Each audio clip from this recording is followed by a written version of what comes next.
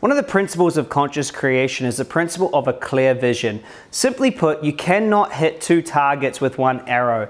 You can't chase two rabbits at the same time. You've got to have a clear vision of exactly what it is you're going for. Now, a lot of people don't want to have this real simple truth is that a vision must have an emotion, an energy, a feeling, and a vision with it. So, not just what you see, how it would feel to have that, how it would sound, and what it would be like.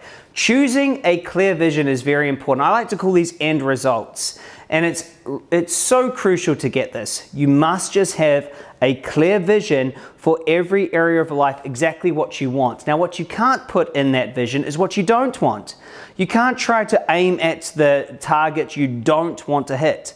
So you don't want to, eh, you're aiming at this target over here, and so you go, you look at this one, I don't want that one, and try to go that way.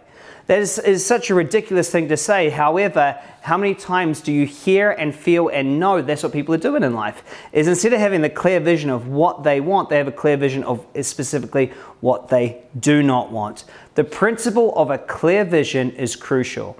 You must have a clear vision and an end result feeling for every single aspect of your life. Hope you enjoyed it. See you on the next principle.